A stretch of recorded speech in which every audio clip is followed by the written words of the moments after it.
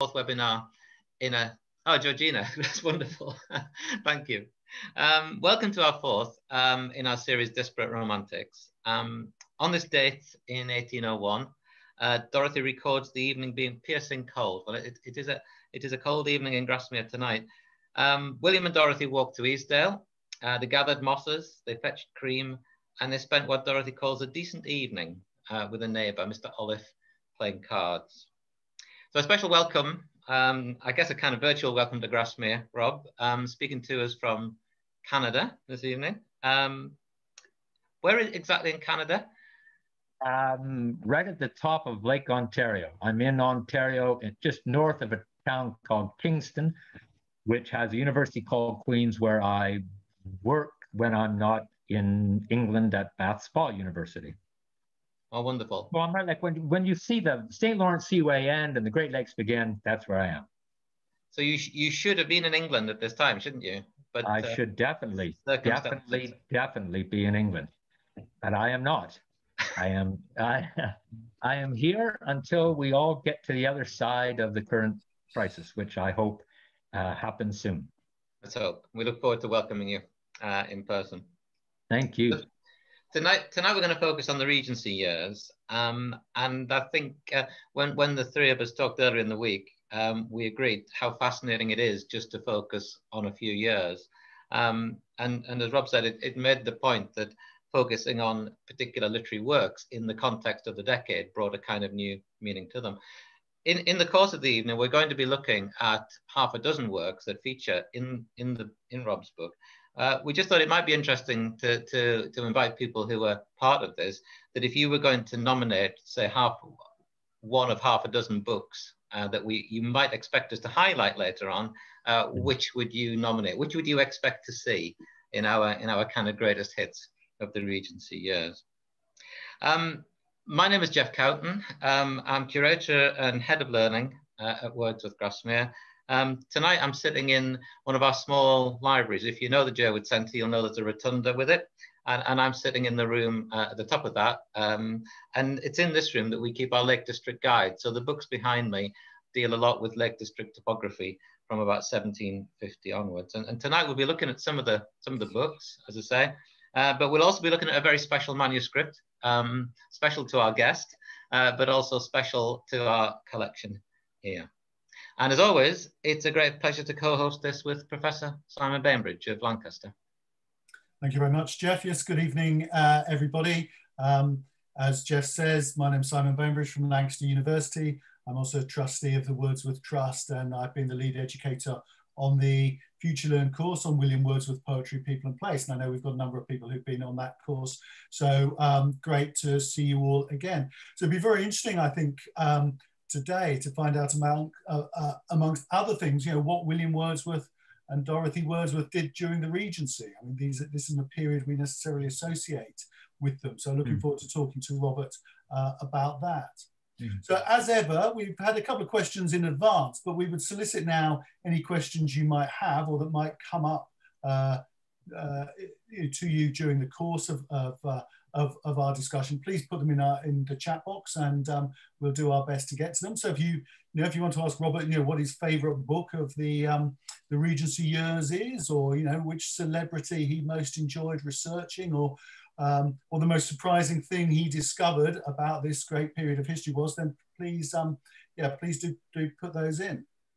Um, and we've already got a good question, which, which is pretty much going to be a, a, starting point in just a moment. How do we define the Regency? So we will be we will be coming to we will be coming to that. So thank you very much for that, Yasmin.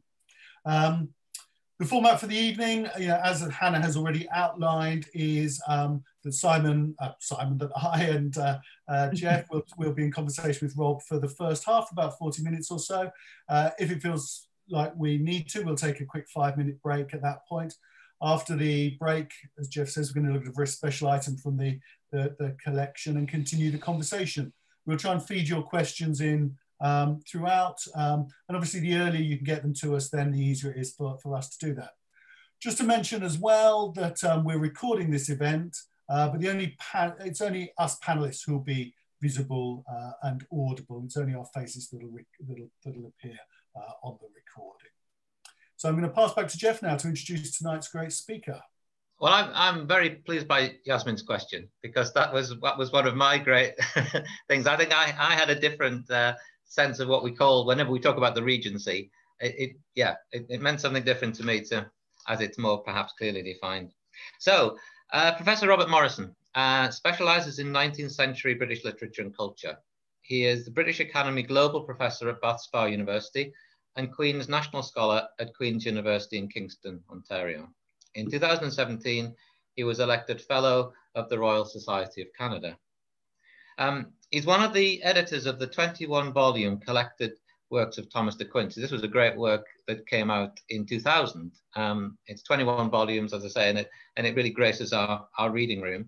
He's the author of um, this wonderful book too, um, The English Opium Eater, a biography of Thomas de Quincey, which was 2009. Uh, that was shortlisted for the James Tait Black Prize in, in, in 2010. And of other published things, again, which sort of some of them focusing on, on this period, um, uh, an annotated edition of Jane Austen's Persuasion, um, with uh, Daniel Roberts, he edited Romanticism and Blackwood's magazine, and with Chris Baldick, he co-edited The Vampire and Other Tales of the Macabre. His most recent book is Regency Revolution, Jane Austen, Napoleon, Lord Byron, and the Making of the Modern World. And it's published in America under a different title. And I, I have the, if, if, you have the book, it, it probably isn't this one. This is the one that was published over the sea, as it were. And this is the Regency years, uh, during which uh, Jane Austen writes, Napoleon fights, Byron makes love, and Britain becomes modern. So they, that's it. That's our evening in a nutshell.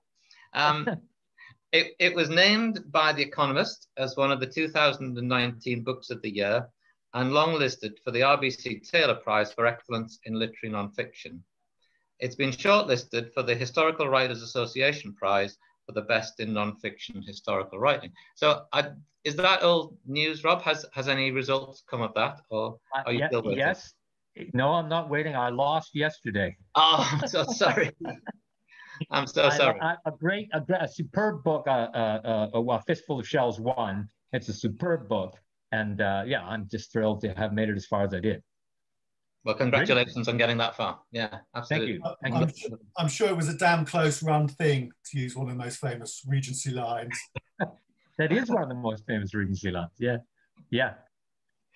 So, so um, that aside, um, Rob has been um, a great friend to the to the Wordsworth Trust, Wordsworth Grasmere, for many years. In the 1990s, living living not far from here, um, you were telling us that your your first son was born in Lancaster Hospital. You thought of applying for a job at Lancaster, but may have reached a conclusion as to whether that was right or not, even even this week.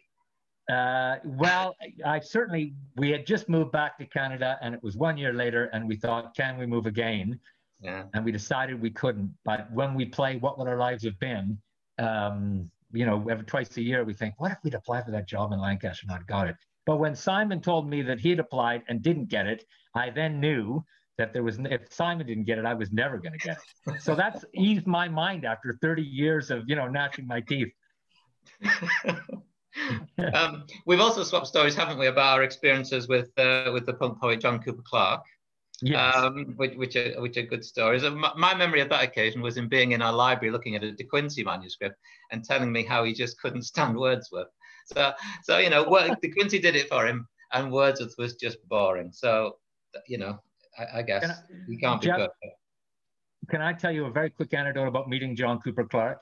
I met John Cooper Clarke in London, and I was very, very nervous because I thought I'm this sort of square scholar, and this is a great punk poet. And he came into the room, and I looked across, and I thought it was Ronnie Wood. I thought I'm going to meet Ronnie Wood and and John Cooper Clarke the same day. And when he came over, I knew it was him, and he introduced himself, and he said, "You're Canadian," and I said, "Yes, I am Canadian." And then he said, "Paul Anka is Canadian," and I said, "Yes, Paul Anka is Canadian." I drove over Paul Anka Drive to to get here. And he said, What's Paul Anka's greatest song? And I said, Lonely Boy. And, you know, put your head on my shoulders. That went through my head, but I said, Lonely Boy. And he looked at me and he went, Is the right answer. And then all my nervousness disappeared, and all my, I thought, oh, I'm going to get along with John Cooper Clarke as we share an admiration for the early Paul Anka.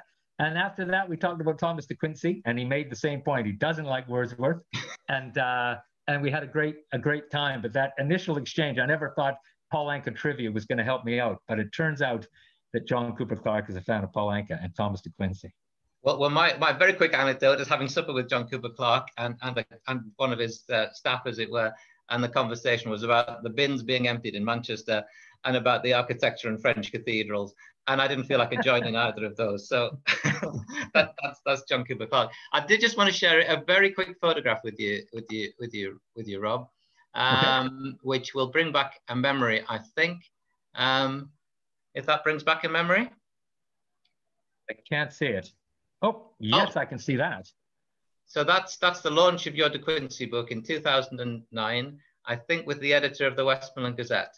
That's exactly who it is. And you put that decanter there to suggest De Quincey's uh, uh, fascination with laudanum, which I loved. And uh, uh, that was a very, uh, very, very exciting day. My dear friend John was there, and my dear friend Ben, and my two sons, and my, and my wife Carol. It was wonderful.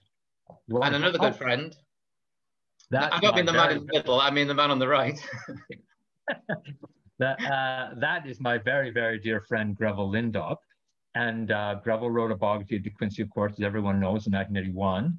And uh, uh, I had a, a, beer with Grevel in, a, in an Oxford pub uh, in 2006. And I said, I think I'm going to try to write a biography. What should I do and what should I look out for?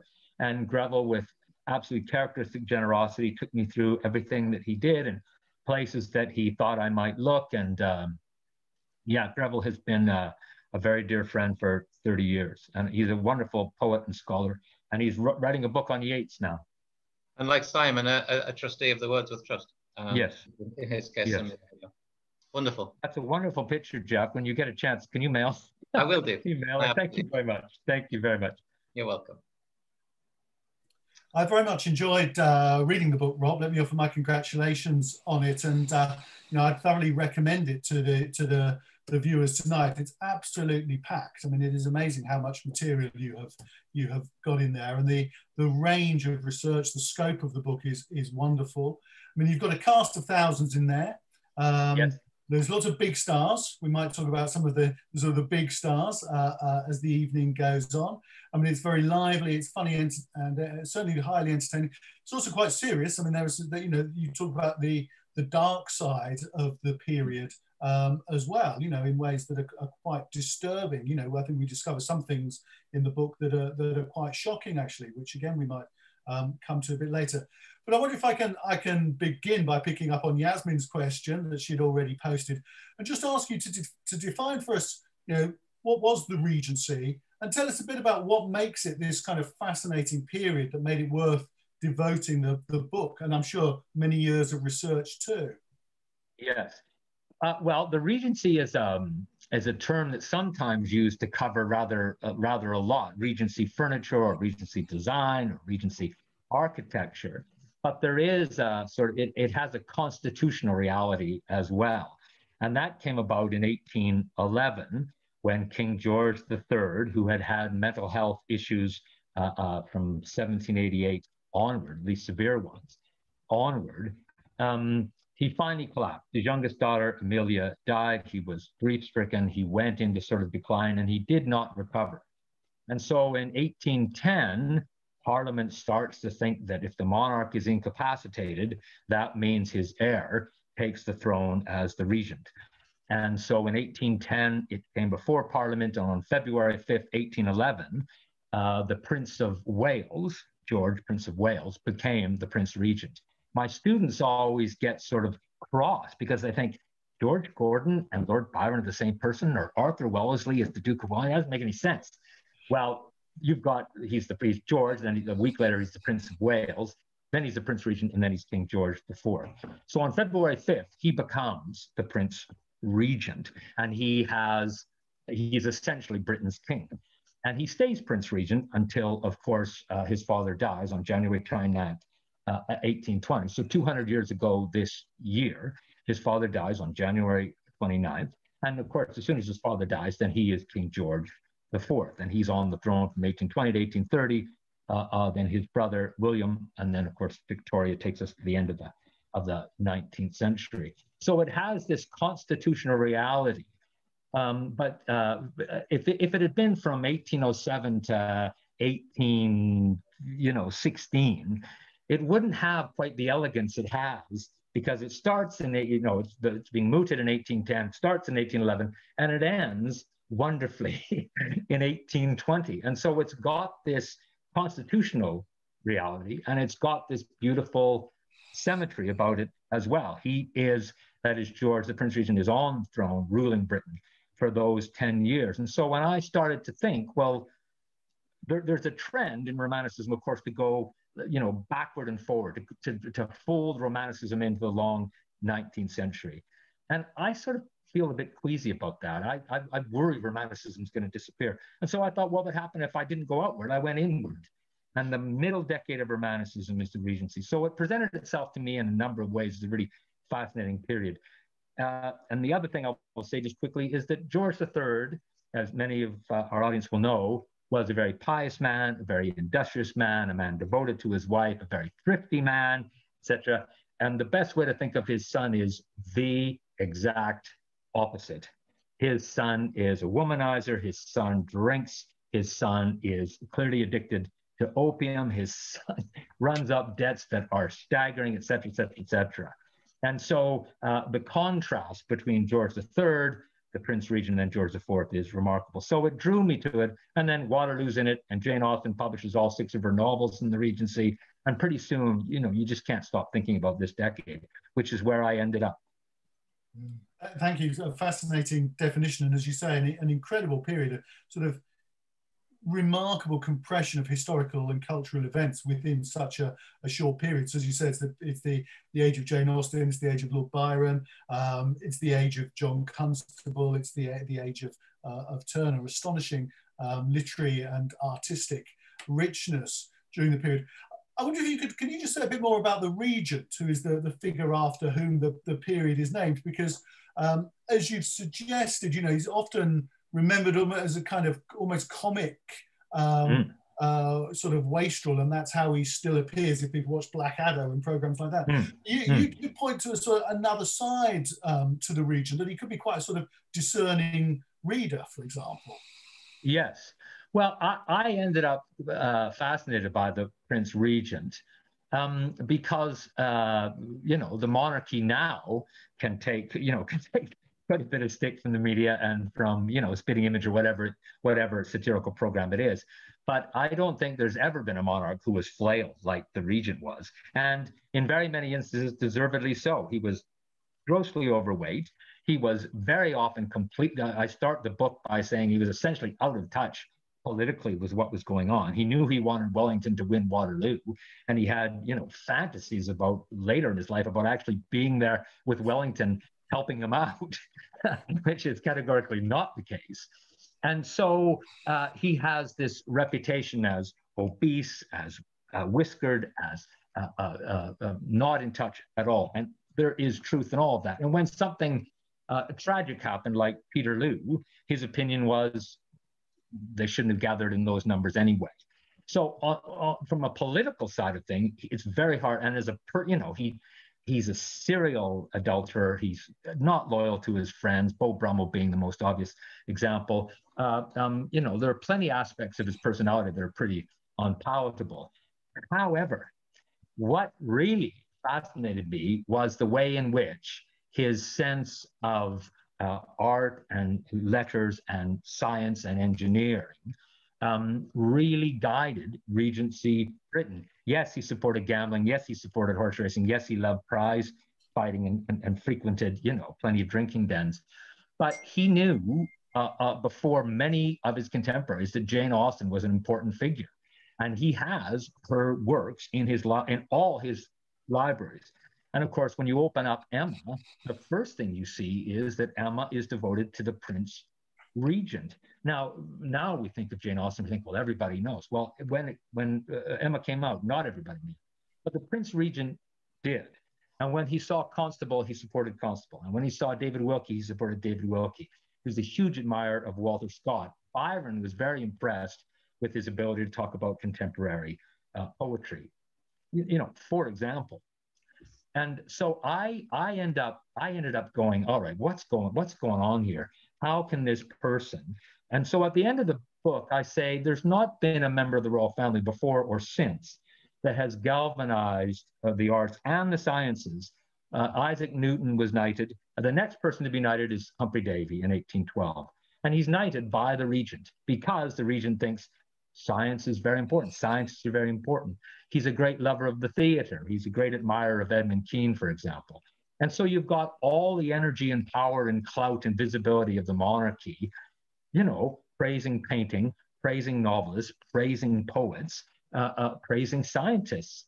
And, uh, you know, I'm somebody who believes that our, our culture today could do with a little bit more attention to poets and actors and artists and scientists and engineers who really elevate what we're able to achieve. And of course, scientists now in this recent crisis, you know, as, as the COVID broke out and everybody went, all right, how are we going to solve this? And so uh, the regent's celebration of those things seems to me to be an, a, a, neglected side of his character that really did galvanize this extraordinary outputting. Of course, there were other factors involved. I'm not for a minute claiming that you know he's he's entirely responsible, but uh, uh, his his father wasn't that interested, and his brother wasn't that interested. He was, and the clout and energy of the monarchy is able to, to you know, then as now, is able to bring attention to people and events that uh, uh, change public opinion.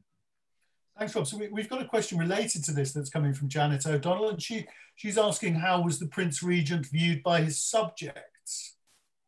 Oh well, uh, most of them. Thank you for the question. Most of them uh, loathed him because he was out of touch with their suffering. Most of them, lo- mo- most of them found him absolutely insufferable. They don't have enough to eat, and he's, you, you know, belting back gargantuan quantities of food and drink. And so um, he is. Uh, uh, when when, uh, when Spencer Perceval, for example, is assassinated, the only time a British prime minister has been assassinated was in the Regency, and the masses in London are euphoric. Uh, they think this person's gone out and assassinated the prime minister as a way of hitting back at the privilege and power located in uh, Westminster. But people further up the social hierarchies, you know, are pretty are pretty keen on him. He's very interested in art. He's very interested. Just if you're hungry and someone tells you they're interested in art, it doesn't it doesn't necessarily go down very well. So broadly speaking, he's look people like Cruikshank, the great character uh, caricaturist Cruikshank. And my goodness, when I started working in the Regency, you know, we think of Cruikshank, or at least I did, as associated with Dickens. But Cruikshank is everywhere in the Regency. When I collected the images for the book, it was Cruikshank, Cruikshank, Rowlandson, Rowlandson, Cruikshank, Cruikshank, Cruikshank, Cruikshank. Mm-hmm. It was remarkable, his satiric uh, energy. So you know, the, the, uh, the, vast majority of the population, I think it's safe to say, didn't think very much of him. And even someone like Southey, who's pro monarchy, has got a hard time with the regent. But there are artists and uh, scientists benefit from him enormously. Great, thank you, thank you very much. I mean, you mentioned the um, the death of Perceval there, and I think that relates to some of the um, objects in the trust collection, doesn't it, Jeff? It does. I, I, I was really taken by that in your book. It, it relates to a couple of things. One is um, in 1812, May 1812, William and, and Dorothy, William and Mary, um, his wife, of course, are separated uh, at different parts of the country. He's in London, Mary's in Herefordshire. And uh, in one of the, what we call the love letters, one of these letters discovered in 1977, um, mm. they have this exchange, don't they? Um, and mm. William's kind of trying to keep Mary up to date. Remarkably, Mary gets the news of the assassination within about 48 hours. Um, and she, like, um, I guess in, in, these circumstances, she, she's, she's kind of relieved that um, the person is thought to be a lunatic because why else would anybody want to do such a thing? But from what you're saying, um, she was perhaps on a different side of the spectrum to people who were almost pleased by the news or by the, by the event. Well, Wordsworth is in London at the time. I mean, it's kind of like one of the things I wanted to achieve with the book is to take a name like Wordsworth and try to put him in different lights. And mm. so there, there's not a great deal done on the fact that Wordsworth was in London uh, uh, at the moment when, uh, for the only time in British history, the prime minister, thank goodness, was assassinated. And Wordsworth is um, outraged. Wordsworth is not with the people who are euphoric. Wordsworth is angry. And one, there's a wonderful moment that I made sure was in the book where someone says, Well, you know, Mr. Wordsworth, what are people supposed to do if they're hungry, if they're starving, if they have no food? And Wordsworth says, Well, not shoot anybody, not murder anybody, or if they do murder them, it should be to eat their hearts.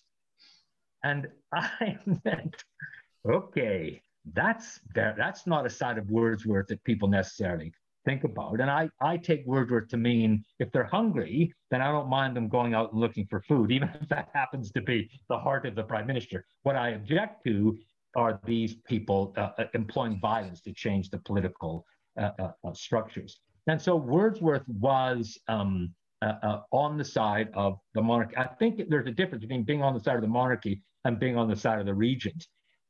You know, people people had to sort of excuse the region, but they believed uh, in the institution of the monarchy. So Wordsworth is a good example of somebody who didn't delight in what had happened. But he is horrified as he walks around London and he says to Mary, uh, uh, the, the, the, the happiness of the people that the prime minister has been assassinated floored him. And in a way, his surprise, I think, is very, very revealing. I think, you know, he, he, he thinks that, well, by and large, things must be all right. And when uh, uh, um, Bellingham assassinates Spencer Perceval, walks into the House of Commons and assassinates him, uh, it, it is a moment of great rejoicing for people who feel like the government and the regent and the politicians are not listening. And when you know that people could starve in the streets in Regency Britain, it's not the Regency that you find in Emma. It's not the Regency that you find in Pride and Prejudice. Not that that isn't an accurate reflection of one side of it, but like our society, like any society, it's multifaceted. And there were people who led very, very unpleasant lives. And Jane Austen isn't uh, uh, uh, uh, really interested in them, but those are the people that were very happy to see a politician assassinated. And openly, Coleridge is in London at the same time, he's horrified too. One of the things I really enjoyed about your book was the fact that you tell all these hidden histories.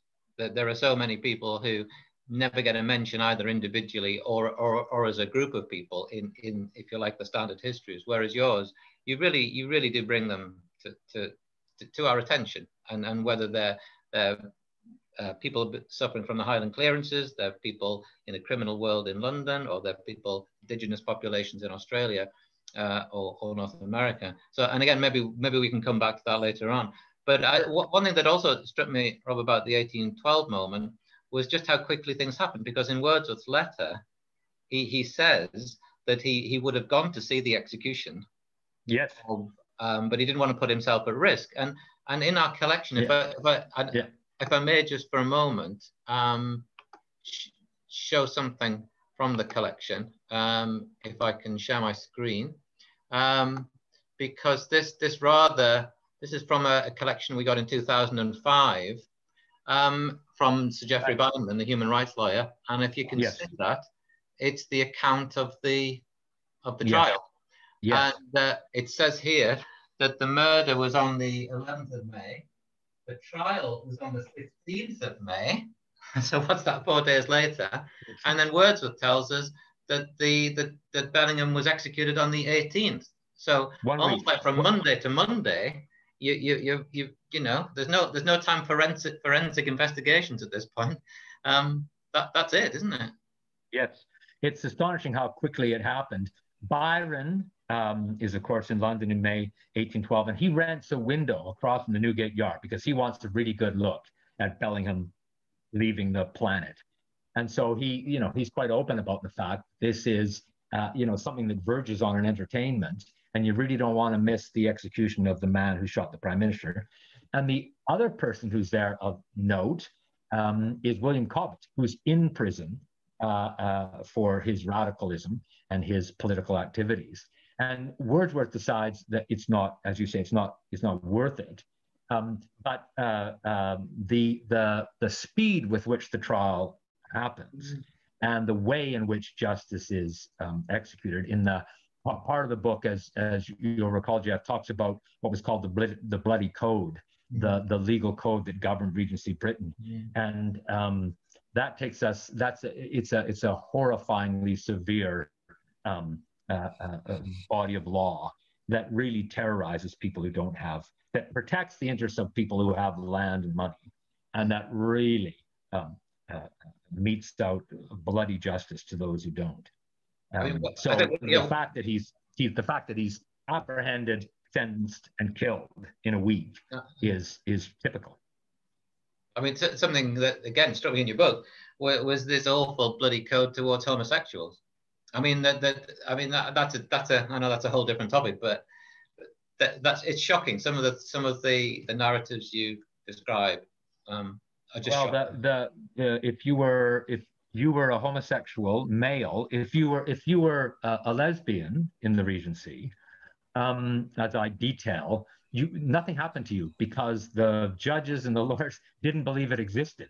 Mm. So so for this one way uh, uh, lesbian woman, so the most famous lesbian uh person in the Regency is Anne Lister, who people know from the recent uh, miniseries. And Lister talks in great detail and with great enthusiasm about her uh, experiences of same-sex love. And it is it is revelatory to read her journals. But if you were a, a man who was interested in same-sex love, like for instance Lord Byron, you had to be extremely careful because if you were caught, you were hanged, you were pilloried uh, to, to, to, within a few inches of your death, and then you were hanged. And William Beckford, uh, uh, you, you, know, the the very wealthy uh, uh, sugar plantation owner who wrote Vathek. Beckford says, I, and who is also homosexual, says, I would like to know what deity they think they are placating by these shocking murders. And I, I have to say, I found it a, a really uh, moving and deeply upsetting aspect of the Regency that I, I, I knew very, very little about. And, um, uh, you know, at the same time, people like Beckford and people like Jeremy Bentham write about. Bentham writes about um, what we would now call homosexuality. Uh, uh and he writes about it in a way that is uh, astonishingly prescient. And it's in manuscripts in University College London because Bentham said, if I publish this, it would bring so much opprobrium on me that every other research or every other uh, uh, uh, reform agenda, every other reform I'd like to, to make would get would get sent out to sea because people would be so horrified by my advocacy. But he sounds remarkably modern when he describes um, same sex love and the practice of same sex love. And he essentially says it's an imaginary crime. Mm-hmm. And one of the things that drew me to the Regency, which of course it is, one of the things that drew me to the Regency and the reason the modern world is in the title is because I really do feel like um, it marks a moment when, for example, people start saying, you know, who cares? you know, the question is, is he pleasant or unpleasant? Is he kind? Is she, is she kind or unkind? Not what the sexual preference. And so I, I, I, felt um, I, I, was pleased to write a book that got to say those kinds of mm. things, make those mm. kinds of points, and to celebrate the the courage and the insight of a Bentham or a or, or a Beck or a Percy Shelley or a Lord Byron and very, very powerfully written. Powerfully written it is.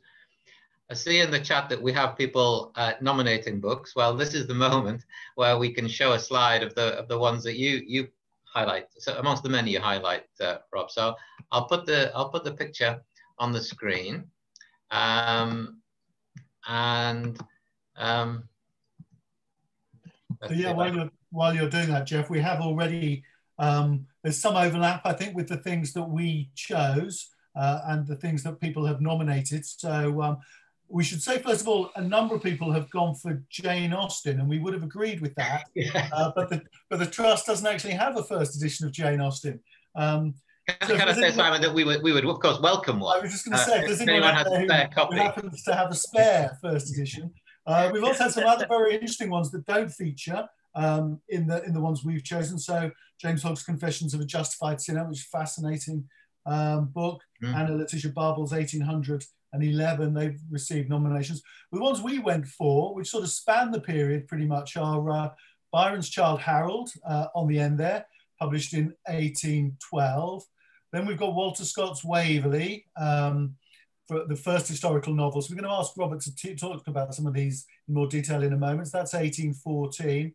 1814, also the year of Wordsworth's Excursion, of course. This is the big book that Wordsworth publishes during the Regency period that he thinks is going to um, really be the significant publication of his of his life. And I think we would have, if we had it, we would have added um, Pride and Prejudice uh, to that incredible collection of uh, works that are coming out in 1814. Then um, we've got Mary Shelley's Frankenstein, uh, which interestingly no one uh, mentioned. So that's um, from 1818 that that's published. I think we've then got Percy Shelley's Prometheus Unbound and other poems. Um, and then I think that's 1820. And right at the end there, I think that's John Clare's first volume of poetry. Mm-hmm. So uh, also 1820. So an absolutely uh, yeah, fantastic illustration from Jeff there of the richness of the literature mm. Um, of this decade. I mean, you do wonder if there is any decade um, that compares with it for the number of writers producing such um, extraordinary works. So Jeff, I think you've actually got, are you able to show us um, these, yeah. these uh, versions of some of these books? Can we start, yeah. with, should we have a look at Childe Harold? Absolutely. If able to um, put that on screen. And I could just ask Robert, maybe you could, I mean, Childe Harold feels to me like in a way the book that sort of kick-starts the Regency mm. literature mm. of the period, you know, published in 1812, as Byron famously says, when it's published, he, he, he woke up to find himself famous. And, you know, Byron uh, is, a, is one of the big stars, I think, of your book. Um, you know, if we, if we were, had the Hollywood blockbuster advert, you know, Lord Byron's name would be up about that. So can you just tell us a bit about Childe Harold, why it's so important and why Byron becomes such a big star in the period? Sure. Can I just back up just very quickly to say that um, uh, the, there there is so much that that that sort of showcase of books is astonishing, and you could add to that, you know, any one of Austen's six novels came out in the Regency. And so I uh, had to make a decision very early on that if it wasn't published in the, it wasn't exactly in the Regency, I had to get rid of it. And so a, a book like Confessions of a Justified Sinner, which I think is so uh, such a wonderful book, I teach that book often. It's 1824, and I I I I cannot tell you the number of times that I you know held my breath and went, oh, I hope that he was working on the manuscript or something. So because uh, my world sort of it was 1821, my world ended, and I didn't it didn't count. And uh, so, yeah, uh, it, it is remarkable what happened um, in the Regency um, and the number of books that came out. And it's heartbreaking how many great books are quite close on either uh, on either end. Uh, yes, uh, Byron publishes Old Harold's Pilgrimage, which is in a sense, which is in a sense uh, kind of a poetic travel log of the time he has just spent in Europe well south of where Napoleon is fighting in places like, as Jeff's got there, Spain and Portugal and Albania. And he comes back and he publishes it in uh, uh, March 1812. And he says, as Simon said very famously, I woke one morning to find myself famous. And this begins this remarkable run. It's not that Byron hasn't published poems uh, uh previous to this. He's published Hours of Idleness, he's published English Bards and Scots Reviewer, Scots Reviewers, but this is the one that changes everything uh, to some extent because it introduces the, the character of the Byronic hero, which of course Byron comes back to over and over and over again, culminating, I would say, with uh, uh, Manfred in 1817.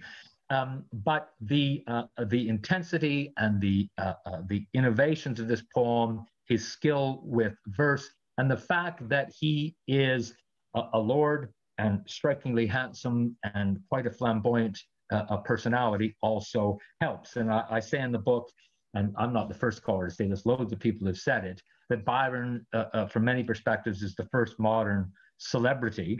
And Childe Harold is the poem that makes him uh, uh famous. And of course, he writes a third canto when he's in Switzerland, uh, uh, and then the final canto comes out in 1818. Um, it is reading it over again uh, in the context of the Regency, and this is one of the things that we spoke about uh, uh, on Monday. Reading it in the context of the Regency is different, at least I found it different, than reading it in the context of Byron's career.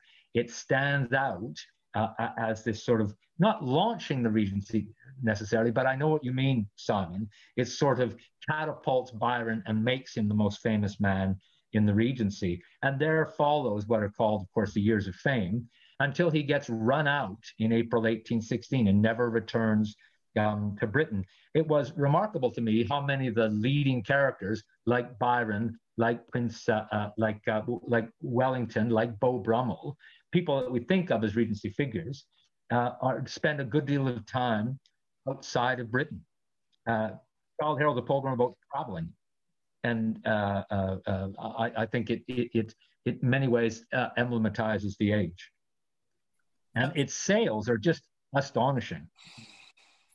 Fantastic. Thanks, Robert. I was just going to say it's so nice as well to see it, to see the first edition uh, while yeah. you're talking about it, because one of the things you get is, is a sense of um, what, what an impressive volume um, it is. You know, it's a, it, it's large, and the re, you know the reading experience. Um, just looking at the type is so different from the reading experience we often have now when we you know we pick up a volume of byron it's fairly compressed there's a lot of verse lots of stanzas on each um, each page i mean here what we have just two two stanzas generally per page. So it's a very, it's almost a luxurious object, isn't it? And a luxurious reading experience. Yes, when I when you show the picture with the excursion, you get a sense of how uh, important Wordsworth thought that poem was to put it out in that format. You know, Charles Lamb called the excursion a great armful of poetry. And when you see that volume, you can see that Wordsworth was hoping to make pretty substantial dare I say, kind of Miltonic claims for what that poem had, uh, uh, what he felt that poem, or at least I think hoped that poem had achieved. It's magnificent to see just the bulk of it. So here, here Jeff has Jeff has taken us to the excursion here, being a, a portion of the Recluse, uh, a poem, uh, and of course, you know this is not a book that is um, much read now, really. Certainly not by the by the general public. Um, can you say a little bit about its place in the Regency period, Robert, for us, please?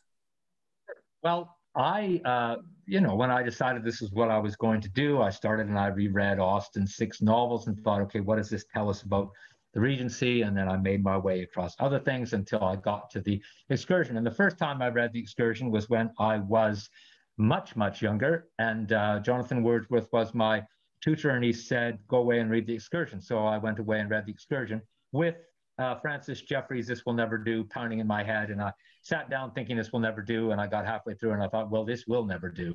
and I, you know, I pushed my way to the end and I said, yes, Jonathan, I read it. And, and I, I thought next to the, the prelude that it, it hadn't, uh, it hadn't engaged me anywhere near as much as the prelude, although I don't think I was a very good reader of poetry, at least back then. I hope I'm a little better now.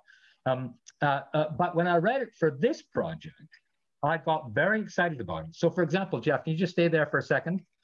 That uh, um, uh, is uh, that book. The first book is called The Wanderer. Now, that book comes out in 1814. One of the novels that I didn't get a chance to talk about to anywhere near the length I wanted is by Frances Burney, whom, of course, we associate with the end of the 18th uh, uh, century. But Frances Burney published her last novel in 1814, and that novel is called The Wanderer or Female Difficulties. And uh, Burney does this magnificent job of outlining what it is that thwarts the lives of women living in the Regency. And it is striking to me, and I would say characteristic of the Regency, that Wordsworth begins his poem with a book called The Wanderer. And that same year, uh, uh, Frances Burney comes out with her last novel, which is called The Wanderer. In other words, there is a kind of a dialogic feel going on. And of course, people, Byron is wandering in Childe Harold the Wanderer, Frances Burney's The Wanderer. Uh, uh, you know, Britain has been at war for a long time now, on well, almost continuously since 1793, and so there is a sense of displacement. There is a sense of upheaval. There is a sense of you know uh, uh, of the culture coming a bit unmoored. And so when I read um, the, the excursion again, it seemed to me to do much better uh, in my head as a kind of a work, a product of the Regency. And so, for example, one of the things I say in the book is Wordsworth is talking about industrialism. And he says industrialism was, quote, a new and unforeseen creation. And I read that line and I thought, now Mary Shelley's going to begin Frankenstein in about 20 months. And there's Wordsworth talking about industrialism as a new and unforeseen creation. And I thought, well, I, I of course, I read over that uh, when I first read it, but it was an example to me of a moment when Wordsworth seemed more engaged with, and the, and the excursion seemed more engaged with the age um, than I had previously given it credit for. And I think, you know, when you put in 1814, Mansfield Park comes out, the uh, excursion comes out, Waverley comes out, and Frances Burney comes out. And if you read those works back to back to back to back, it's astonishing, at least in my life, it was astonishing to watch how concentrating on the year rather than the career of the poet changed uh, my perception of the work. And I ended up thinking, I ended up uh, uh, further, much further away from Francis Jeffrey, and I wasn't, I didn't become as enthusiastic as Keats when he says excursion is one of the three things to rejoice at uh, of the age. But the fact that Keats said of the age really grabbed my attention. Uh, uh, I ended up thinking Keats says that in 1818, and uh, and uh, I ended up thinking that that that you know Keats was that well, unsurprisingly, Keats was onto something uh, as a reader of poetry and as a, as an admirer of Wordsworth.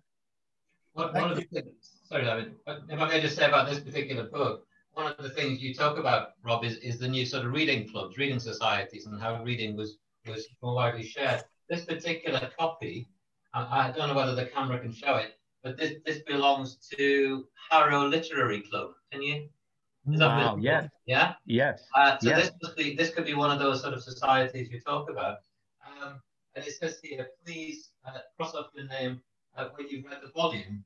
So you can see that what wow does he have maybe a 30% um, of the possible members have read it, something like that. But um, an interesting number of clergymen uh, amongst the list.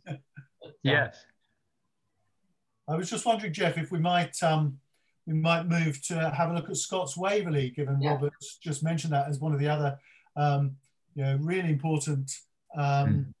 publications of, of this this incredible year, 1814. Um, and it's, it's, my understanding, Rob, that um, I mean, Scott, up until the emergence of Byron, um, is the best-selling poet of the period, isn't he? Yes, um, yes, he is. And then Byron yes, appears, and, and and Scott. I mean, he still writes a bit of poetry, but basically he decides to write something else. And the first the first type of that something else is is is the book that uh, Jeff is showing us now, Waverley, or or 60 years since, which it's another it's another book of um, war and wandering in a way, isn't it? Um, yes. That, that, great description you just given of the excursion.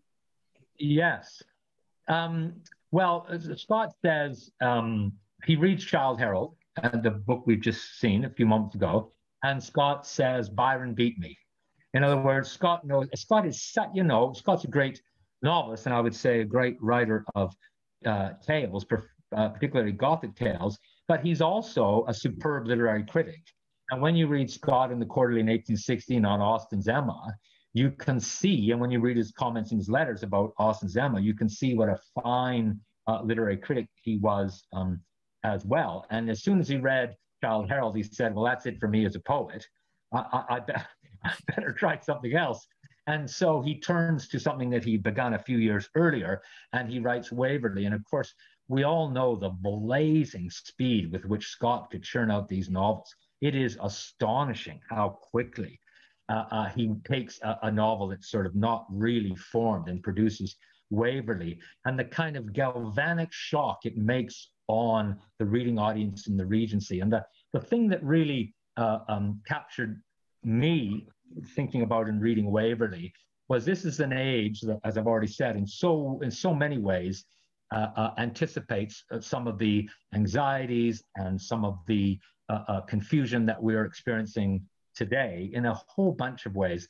But the most popular novel of the period, Look Backwards, was historical. He founded the historical novel. And so you always get this sense of this Janus faced looking back 60 years since and looking forward uh, in ways, in, in, especially in terms of uh, uh, science, but also you know, J.M.W. Turner is painting during during the Regency, painting, uh, um, you know, astonishing work during the Regency. So it's a period that really I see as a as a pivot you know, it, it's not to say that it breaks um, completely with what came before. It feeds off of and is inspired by history in remarkable ways, and none, I think, more remarkable than Waverley.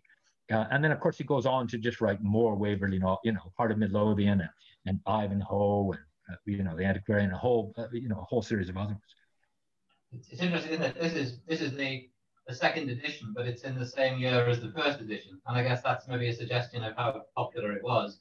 Um, we, have got something like a seventh edition by 1817, so it, it must have been, it must really have been selling. Uh, it, it is astonishing how uh, Scott can sell 10,000 copies in a morning. 10,000 copies in a morning. That's, you know, that's, I would say, as everybody with change in their pocket, you know, in the Regency buys a copy of Scott's novels. And I, there were lots of testimonies to, to the grip these novels had on, uh, you know, Peacock says everybody reads these. Uh, uh, servants, men and women uh, read it, clergymen read it, scientists read it, politicians read it, everybody reads Scott. And um, uh, uh, his ability to produce more historical novels, you know, one after another, is is uh, is really remarkable. And Waverley goes through four editions in the first year, Jeff. So wow. that that and it's published. I don't want to get it wrong. I think it's 7 July 1814. So he didn't even have the decency to bring it out in January. he brings it out when the year is half over, and it still sells. Henry Cockburn, you know, the the Edinburgh lawyer, in his um, diary talks about the electrical shock of Waverley. Nothing, history had not, history was sort of window dressing prior to Scott. That's often what is said.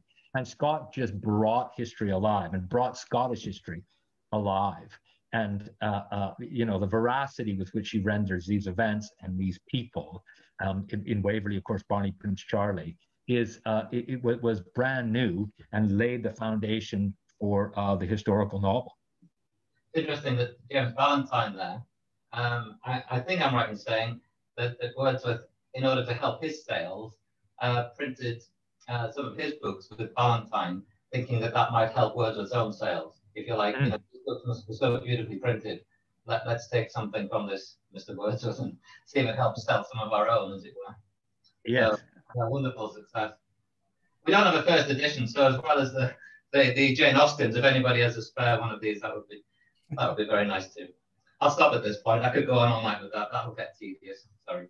This is such a. I, I, I mean, we should perhaps apologise in the sense that it's been so fascinating and such a treat. We've kind of worked through our tea break, but I'm sure people will forgive us uh, for that, and we'll just push on. Maybe Jeff, we could finish this part just by having a look at what's probably um, the most famous book published in the period in the mm. general imagination, which is Mary Shelley's Frankenstein. And then we've had a couple of fascinating questions on the literary culture as well, which we, um, which we, which we could deal with at this point. Um, but I think here, yeah, so here we've got uh, first edition of, of, of Mary Shelley's Frankenstein or wow. the Modern Prometheus, about which wow. you write very interestingly, Robert. So perhaps I could just hand over to you. Well, I uh, I think I've been teaching in universities, British and Canadian, for you know close to 30 years. I don't know how many semesters I've not taught Frankenstein. Frankenstein, um, I, I, think, lives in the popular imagination, and as a as a as a, a as a piece of thought-provoking uh, literature, I, I I come back to it over and over again. In in fact, when I when I finished the book, and you know the publisher had a very strict uh, word limit and so I had to, you know, I had to go through this gruesome business of of removing. And one of the things that I realized was that every chapter contained a long description of why Frankenstein mattered politically, and then in terms of entertainment, and then in terms of sex. And so I decided that the perhaps the better approach was just to end with Frankenstein, because in in in many ways, for me, as I saw the Regency, it all not all, but a great deal of it can be seen as ebbing toward what Mary Shelley does in Frankenstein. It was a dreary night of November, yes. What Mary Shelley does in Frankenstein in 1818. Uh, and um, uh, I, I, just found that in terms of uh, her, her, her, portrayal of uh, everything from you know uh, creation and creativity to uh, to science to parenthood to wandering, as we've already discussed, and the violence, the sexual violence in that novel. Um, it it just makes it um, impossible to get around and the the fact that uh, 200 years, uh, you know, the, I would say the only novel that rivals it in the popular imagination is Pride and Prejudice as a product of the Regency. But I think it is the most famous text of the Regency. And one of the things that I really wanted to do in this book, as much as I could, was to make sure that women weren't left out. I really wanted the actresses and I really wanted the the, the scientists and the, the women who shaped that age. And it was um, it was a really positive thing for me that uh, uh, Shelley and Jane, Mary Shelley and Jane Austen uh, kept kept giving uh, kept, over and over again uh, uh, in their novels and their letters um, showed how central they were to the period and how deeply they understood it how deeply they understood what was happening around them. I hope that one of the things the book does is, is demonstrate uh, what uh, resilient and, and creative and insightful women both of them were. When you think, for example, that Austen's last two novels published posthumously have 1818 on the title page, uh, and Mary Shelley's Frankenstein has 1818 on the title page, that means Northanger Abbey, Persuasion, and Frankenstein come out with a, within about 100 days of one another. And it was those collisions that made my head spin. And I thought, I've got to see if I can write a book in which I put these texts into dialogue with one another. Because as I tried to make the point with excursion, it does seem to me that at, at a fundamental level, there are ways in which they are speaking to one another. Even if it's speaking in anger, they're still speaking to one another. Thank you, Robert. I mean, there's a, there's a number of um, comments now that are just capturing the excitement around this extraordinary period. So Carol Thurlaway here saying, looking forward to reading your book, uh, Robert. And Margaret Thorpe makes the interesting point that you know, Scott's not allowing his name to appear, so he's just the author yes. of Waverley, adds yes. to the excitement and, and the sales. Uh, someone yes. else talking about how much they like Hazlitt's essays. I've got two, two kind of related questions that I might give you together. Um, one of which is from Michael Reardon, who, who just asks, who would be the reading audience of the Regency. Mm. And the other one is I know is from our, our, our good friend Anthony Harding, who um, um, and I know this will be of particular interest to you given your work in the past. Um, he wants to ask you. Oh, sorry, we, we just I've just lost it there. He wants to ask um, whether you feel that more important than any single book, such as Waverley or Emma, are the periodicals. Mm especially mm. the Examiner, Cobbett's Political Register, the Courier, which Coleridge wrote for, and of course the Quarterly, Edinburgh, and Blackwood. So the reading public and then the role of periodicals in the period. Well, the reading public, um, what I found, uh, I found quite a few descriptions. Only I think two of them made it into the book, but there are a lot of people who can't read or who can't read very well and so there are reading clubs and reading societies, even you know, a long way down the social hierarchies. And if one person can read in a pub, for example, or in a home or on a stagecoach or wherever it is, then there were lots of people who got that knowledge, um, got the experience of reading, for example, a Scott uh, novel or a Byron poem, because it was a very social activity. So uh, when Walter Scott's Waverley comes out, Austen knows right away it's Walter Scott. And she says he has no business taking the bread out of other people's mouths. And she says wonderfully, uh, you know, I'm determined not to like Waverley, but I fear I must. In other words, she knows it's Scott right away. And of course, part of her is a little bit, I think, irritated that Mansfield Park comes out and then all of a sudden there's this sensation with Scott's novel, a very different uh, uh novel than than uh, Mansfield Park. So the reading audience, who's reading it, you know, people who are buying it, Wordsworth poems, very expensive, very expensive for the time. And so not very many people can buy it. But um, maybe not as much in the case of Wordsworth, but a, a, a Lord Byron or a Walter Scott, it's not, uh, uh, in, in, in my understanding of it, it's not who's reading it as much as who's in a circle where they can hear it. And so lots of times people gain a knowledge of, for example, Lord Byron or who he is or what he did or what he said or what he wrote based not on their reading but on their on their listening. And so, you know, figuring out the reading audience is a you know, you don't you don't spend much time in English literature before you go, oh, I better not I better not say I know who was reading what because I don't. But what I do know is that, for example, the Edgeworth household, all those children and the father sat around reading Waverley. And Maria Edgeworth writes to Scott and says, I cannot tell you the grip it had on us all. And so that sense in which the, you know, literature, you know, I mean, I love the period because, because, you know, Byron is a poet, major poet. Today he's a major poet. And he's the most popular person of the day. It's a very, it's a very uh, uh, uh, inspirational moment. And Scott is incredibly popular as well. And these novels reach a very broad audience, often not because they've been read, but because they've been uh, listened to. And uh, so I'll move now to the periodicals. Hi, Anthony. It's very nice to hear from you. Anthony Harding is a great uh, Coleridge scholar and has been a very good friend of mine for many years. And I think, Anthony, you'll be in Nova Scotia where I used to live. So, hi, Anthony. Um, so, yes, uh, one of the things that I've worked on quite a bit is Blackwood's Edinburgh magazine, which, of course, Wordsworth hated and wouldn't let in his house. But another Lake District figure, John Wilson, who lived at Elleray, just down the road from Dove Cottage, was uh, uh, the guiding light of uh, Blackwood's magazine. And Blackwood's magazine exploded onto the literary scene, as we all know, in October 1817. And its ability to shift public opinion and the, the, the, the, the size of the readership and the controversy it generated. Um, yes, I think Anthony's right. There's a tremendous role that the reviews play. So, for example, Leigh Hunt, um, you know, flails the regent, and people go, "You better be, you better calm down, Leigh, because he's going to get irritated." And all Hunt is doing is telling the truth. He's speaking truth to power in a very brave way. And Hunt, of course, as we know, ends up in prison for two years because he dared to say the regent was fat and not very reliable and, you know, head over heels in debt and all the rest of it. So it gives you a sense uh, when Walter Scott reviews uh, uh, Emma in uh, the quarterly, these, these uh, journals have tremendous weight in shaping public opinion. So when Hazlitt gets attacked in the quarterly for his essays, you, you know, as, as far as we can tell, it destroys the sales because uh, De Quincey assassination on everybody's battening on the quarterly in the Edinburgh, nobody's thinking for themselves anymore. Um, he's speaking, his, his complaint speaks to the power of those organs.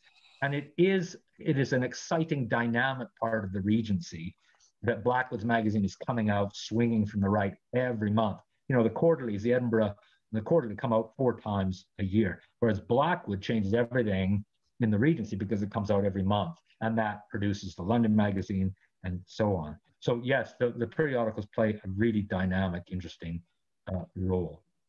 This is one of the, uh, the, magazines, if you like, that you mention a lot in your in your book, Rob, and uh, I think it's just one of our uh, well, it's one of the things that, that gives great pleasure. Uh, the the Examiner. I mean, just the size of it. This is this, I guess, is is, is a year's worth, as it were. Um, yeah. But it's it's a lovely and and this this isn't uh, generously printed. This is this no. is tightly printed, isn't it? Tightly printed. But yeah. uh, I, you know, uh, when I began, uh, uh, you know, you, you go in knowing a little bit more about some people than other people. Leigh Hunt is someone that I've worked on uh, quite a bit, although the, the later Leigh Hunt.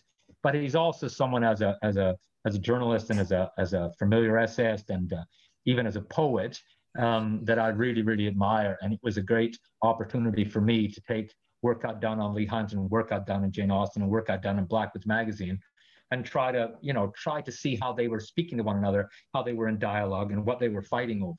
And so that was a, that was an opportunity to think more about Leigh Hunt. And of course, the, you know, the Prince Regent uh, bought Austen's novels and he also saw that Leigh Hunt was put in prison for two years for calling him fat.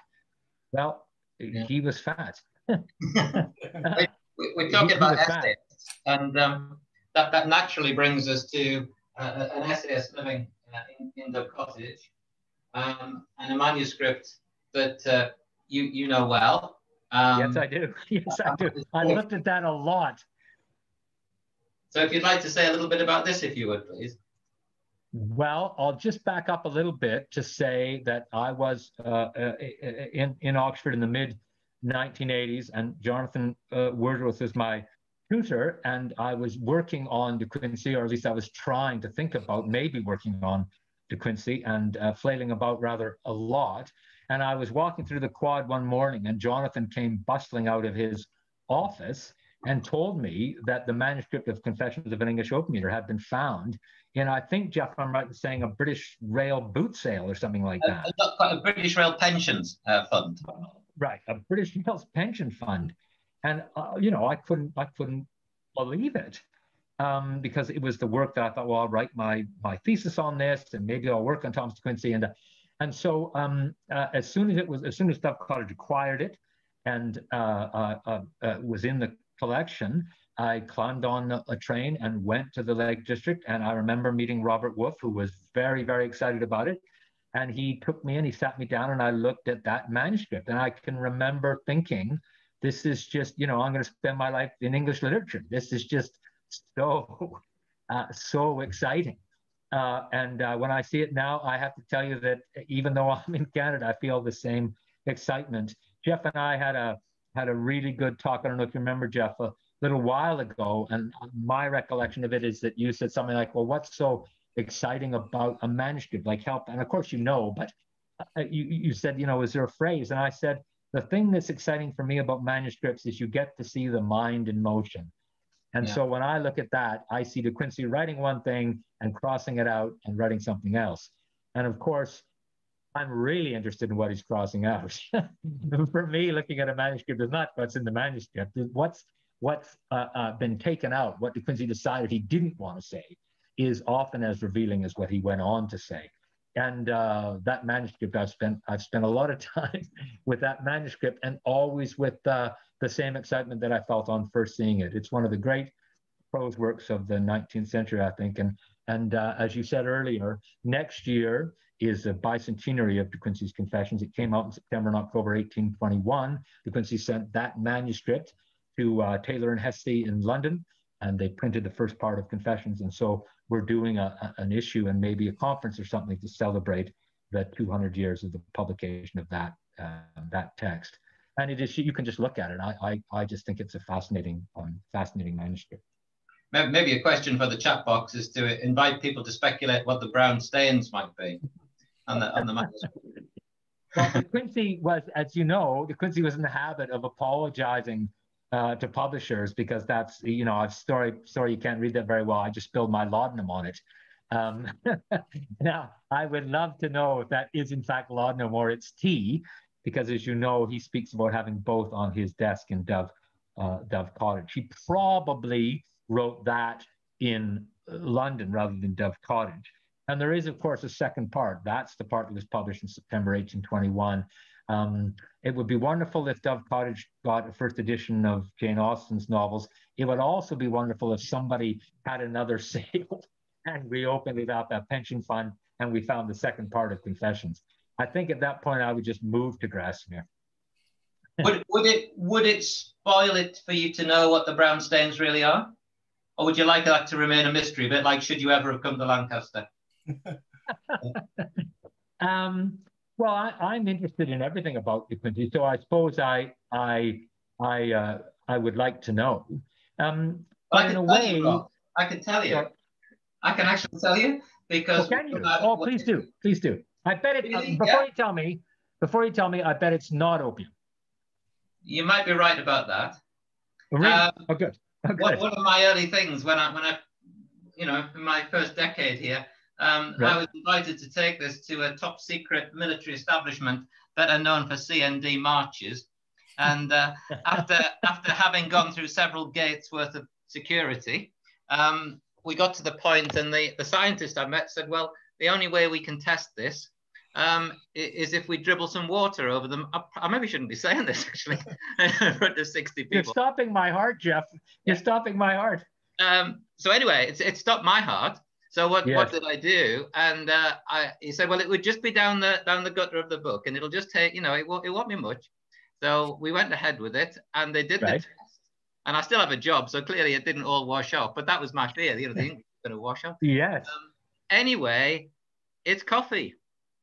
Is it? It's coffee. It's coffee. I mean, that's not what the auction catalogue suggested it might be. clearly, yeah. that would have added a few thousand pounds more had it, you know, had it been opium. But uh, that was the speculation. Wow. Okay, anyway. well, he's De Quincey says to uh, to uh, the editor of the London magazine, John Taylor, that he is writing parts of it. He's, you know, he's still, uh, uh, he's horrendously in debt all the time, uh, as we know. And in 1821, he's writing really to get himself out of debt, which of course he's never able to do. Uh, he says that he writes parts of it in uh, London coffee houses. So maybe he's telling us the truth. Maybe he was in London. Not that you couldn't get opium in London coffee houses, but maybe he's telling us the truth. So, Robert, one of our um, uh, uh, participants, Geronimo Ledesma, I hope I pronounced that correctly, who joins us from Buenos Aires, Argentina. So, thanks very much for joining us, uh, Geronimo. He, he points out that the opening opium the Oriental Dream passages are dated May 1818, which obviously yes. is what helps this get into your tight um, category. Um, yes. And, and, as you say, most of it is written in is London, as far as we know, isn't it? Rather than rather than Grasmere. Mm. But it, it is a story which gives us um, some fascinating sort of uh, occurrences which are happening in Grasmere uh, during the Regency period, as witnessed and involving uh, De Quincey. Can you can you tell us about those? Sure. I, I want to say hi to Geronimo, who's uh, been, I've had lovely correspondences with uh, Geronimo. So thank you for joining us, uh, Geronimo.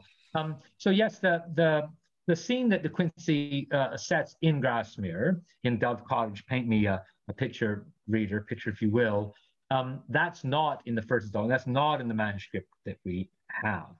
But the most remarkable moment for me, just to take us back to 1812 for a moment, is that shortly after Spencer Perceval is assassinated, um, uh, uh, uh, uh, uh Catherine Wordsworth, Wordsworth's young daughter, Mary and William's young daughter, dies. And De Quincey, as many of the audience will know, was very, very closely attached to this young girl, and he was uh, devastated. And um, Dorothy writes him, and De Quincey is beside himself with grief. And um, when Henry Crabb Robinson sees Wordsworth and De Quincey together, Crabb Robinson says uh, De Quincey seemed more upset than the father. Um, so there's, I think, a performative aspect to it. There are a variety of other things going on. But when De Quincey comes back to Grasmere, he claims, not in Confessions but elsewhere, that he sleeps on Catherine's grave from between six and eight weeks. That every night, so every time I go through that Grasmere churchyard and I see Catherine's grave, I think, I wonder if Thomas De Quincey lay on that grave uh, for six or eight weeks uh, after Catherine's um, death. And De Quincey says in Confessions that this is the moment when he can no longer handle the, the accumulating griefs of his life. And he becomes, in 1813, a regular and confirmed opium addict. And one of the most remarkable moments in Confessions is set in Dove Cottage and is called, as Geronimo and many others will know, is called um, the Easter Sunday Dream, or at least it's known as the Easter Sunday Dream. And it's July 1819. And of course, when you're me and you decide you're going to write a, a book on the Regency and you see June 1819, you go, yes, yes, I get to talk about the Easter Sunday Dream, which is set in Dove Cottage in De Quincey on Easter Sunday. And, you know, De Quincey talks about um, how, how, how he hopes that all Greece will die away and he will find some sort of um, solace and comfort. And he comes out of the gate of Dove Cottage. And when you have that dream in your head, it's very difficult to come out of the gate of Dove mm-hmm. Cottage and not see the landscape, which sort of looks, you know, as it does uh, uh, in Wordsworth Day, and then transform. It's transformed into an Oriental landscape, and it's in that landscape that uh, it transforms again. And he's walking down the streets of London, and he meets Anne of Oxford Street, uh, the prostitute who was a surrogate for all kinds of lost women um, in De Quincey. So for, for me, the great moment of De Quincey's um, uh, uh, experience in Dove Cottage in terms of confessions is the Easter Sunday dream of June 1819. It is, I'm just going to add one more thing quickly, Simon, which is when I realized that De Quincey became an opium addict and Jane Austen published Pride and Prejudice in the same year, 1813, I thought, you know, rock and roll. This this is this is this is I want to talk. I want to write a book that makes sure it goes to De Quincey's addiction and Austen's love story within the same within the same trajectory. And that's that's the kind of thing I was after. That kind of collision. We don't necessarily think of De Quincey uh, uh, uh, as an addict and Austen as a novelist, you know, almost exactly coinciding, but they do. I think that is one of the great things about the book is those those collisions, those juxtapositions, which even sort of structure things like London, as you show. You know, the the, the kind of the posh side and the and the, the impoverished side. And one of the things the book does yeah. really nicely is to is to bring those different parts of the age together. Uh, it's fascinating. Yeah, thank you, thank you.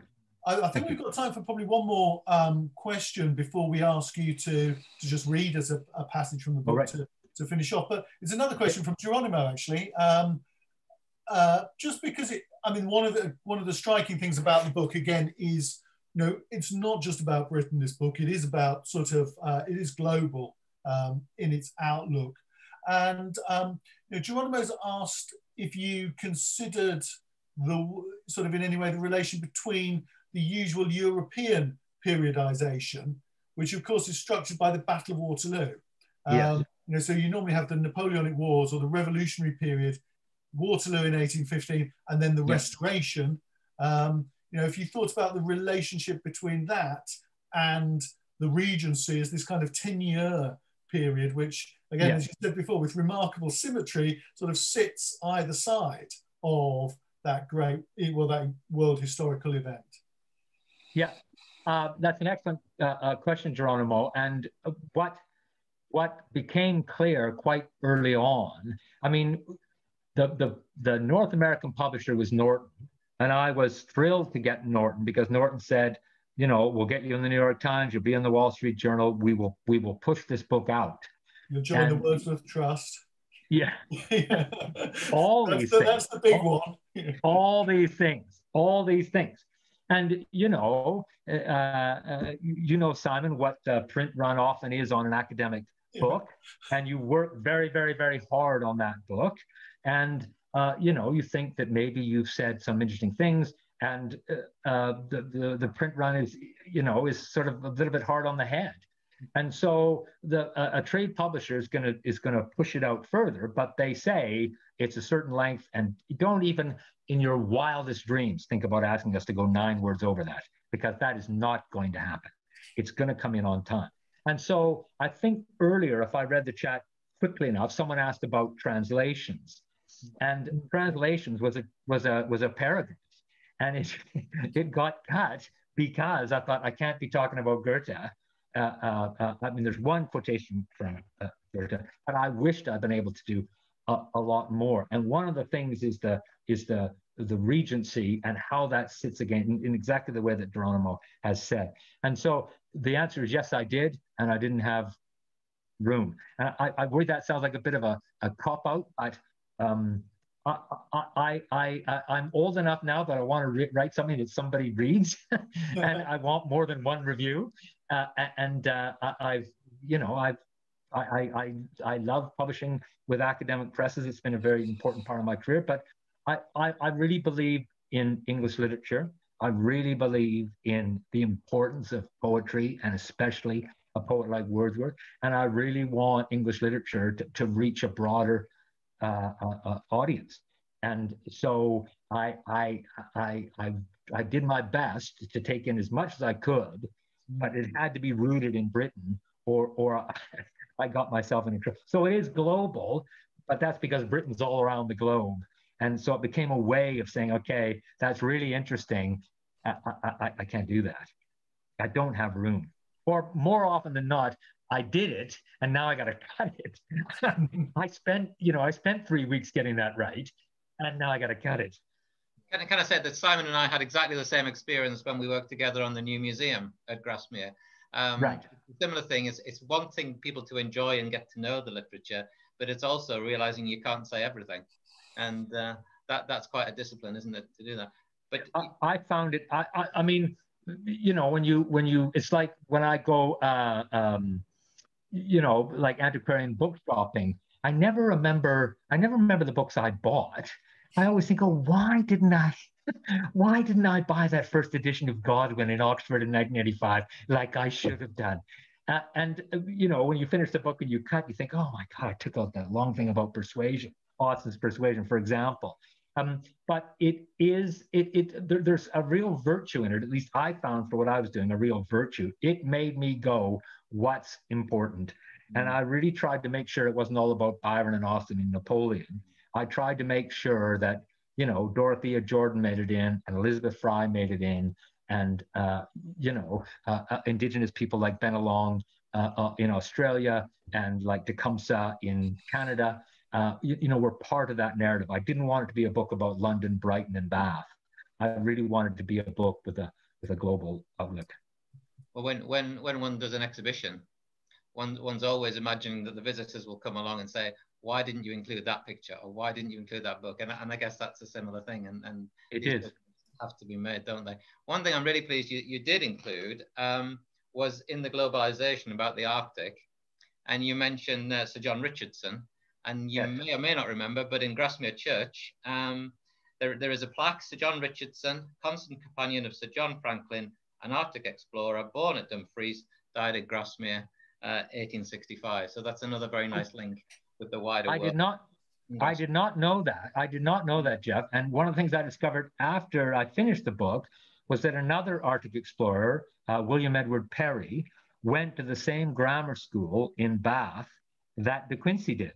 Huh. And um, yeah, well, I, I live, well, I'm meant to be living in Bath. I hope I'm back in Bath uh, soon. And I walk every evening by Bath Grammar School. And uh, it's also, uh, it's De Quincey School, but it was also uh, William Edward Parry, who's a great explorer with uh, uh, on the Franklin, you know, at the same time as Sir John Franklin. Mm. Yeah. So, Robert, could, could, before we sort of thank you for what's been a fantastic evening, uh, could we ask you just to read a short extract um, from your book to um, give our attendees a sense of um, you know, the, the, the, the, the treat that is ahead of them if they if Santa brings this for them uh, on Christmas Day? Um, uh, yes, I'm very happy to do that. What I've what I've decided to do is just uh, take the last two paragraphs of the book, um, and uh, I've I've spent the, this is from the conclusion. I've spent part of the conclusion saying, you know, the Prince Regent was a pretty paradoxical guy, dreadful politically. and personally, uh, there are some redeeming features to his character. And then I try to turn and in the last two paragraphs just reprise the people and the events that uh, have been a part of the book. And so I'll just read I'll just read you that. And this is this is uh, uh, when I put this list together. Essentially, before I started to write this book, I was I was amazed at, at, at the sort of roll call of names. And I hope it doesn't sound like a, a roll call, but here are some of the topics the book covers. During the Regency, John Nash planned and oversaw the construction of Regent's Park and Regent Street. With the invention of the miner's safety lamp, Sir Humphry Davy and Michael Faraday demonstrated the powers of science to improve the human condition. Charles Babbage was the first to imagine what would eventually become the modern computer. David Brewster invented the kaleidoscope, the instant and immense popularity which revealed the burgeoning powers of consumerism, while Luddites protested business practices that brought soaring profits to factory owners and low wage, dead end misery to workers. John Clare was among the first environmental activists, and he wrote compellingly of the intricate interrelationship between the human and the non human worlds. Further, Pierce Egan established modern sports journalism. Robert Owen pioneered socialist thought. Percy Shelley championed secularism. Elizabeth Fry demanded the more humane treatment of prisoners.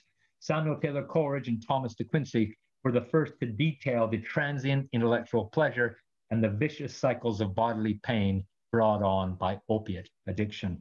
Anne Lister described her joyous experiences of same sex love, while William Beckford and Jeremy Bentham wrote on the barbarity of, publish, of punishing people for their sexual preferences.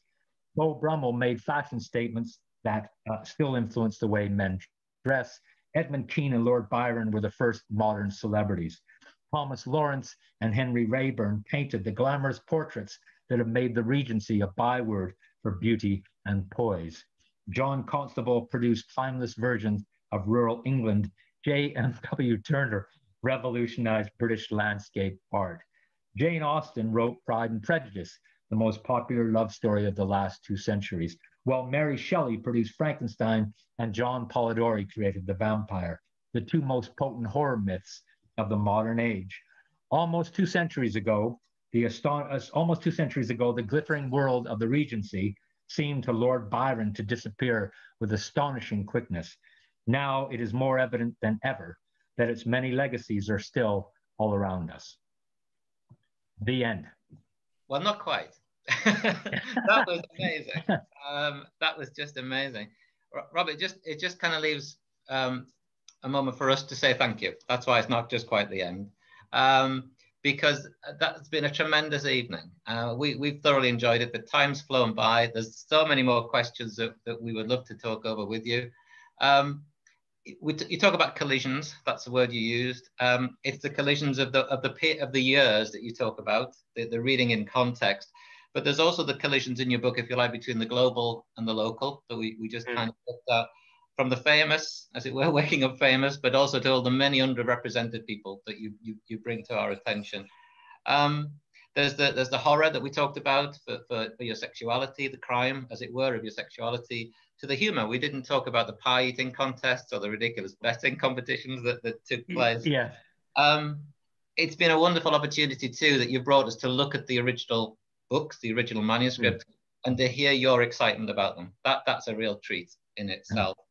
Um, your personal anecdotes have added a richness to it. Um, questions about Lancaster and, and the should you have bought that Godwin or not? I feel that probably was a real moment in your life. That that point about the it Godwin. was. It yeah. was the first first edition I'd held, and uh, it was for twenty eight quid, and I, I, didn't buy it, and I I I, I don't know what happened, and I you know I went back two days later, and of course it was gone. Yeah. Um, yeah. Oh well. Everybody remembers the book they didn't buy. That's the book I didn't buy. 28 quid. So it's been a, it's been a great evening, and, and to thank you also for the many years of great evenings. We saw one earlier on with the launch of the De Quincey book. You've been a great friend to us over the many years. Um, so for that and for tonight particularly, thank you. Um, Jeff, I, I, have to say that my life was changed uh, uh, in, in a really what's turned out to be fabulous way by coming to the Wordsworth Conference uh, in 1983. And uh, I was uh, in the Red Lion Hotel and I stepped out to the phone box and I phoned my mom in Lethbridge, Alberta, uh, you know, which is a long way away by the Rocky Mountains. And I said, Mom, I know what I'm going to do. I'm going to become an English prof. And I'd never thought of it before I came to that conference in 1983. And my mother burst into tears because she thought, oh, thank goodness, thank goodness, Robert's going to be okay. He's got, he's got something he's passionate about. And I, and I owe the Wordsworth Trust all of that. So I'm, I'm deeply honored to have been asked, and uh, I really appreciate, you know, talking to you and to Simon and all the great questions and, and being here. Thank you very, very much. That's our pleasure. There's a chance we might meet together next September if that symposium takes place in Grasmere. Um, I hope so. That, that's something we, we hope we might be able to work towards. Uh, in the meantime, um, in, a, in a week's time, uh, this is our next event. Oh, good. Uh, this good. is uh, Saeko Yoshikawa. We're going to be talking about William Wordsworth and modern travel. And this is a great book too. This is this is fantastic stuff. Um, it's full of wonderful histories about, for example, about railways that could have been built in the Lake District but but weren't.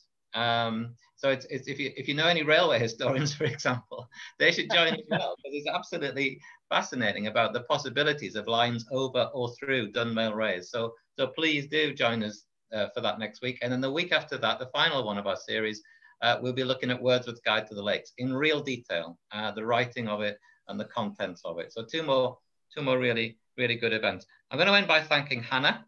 Uh, Hannah, who just keeps the show on the road and keeps Simon and I it gives us great confidence that everything's going to be all right. And then particularly this week, Hannah, th thank you very much for your help. Um, thank you to everybody who's joined us. Thank you to everybody who's made a comment, everybody who's asked a question. Uh, and again, once again, thank you, Rob, and uh, hope to see you all uh, again in a week's time. I'll say good night. I'll do the I'll do the Zoom wave. Bye from Ontario. Thank you so much. Pleasure. Bye, Rob.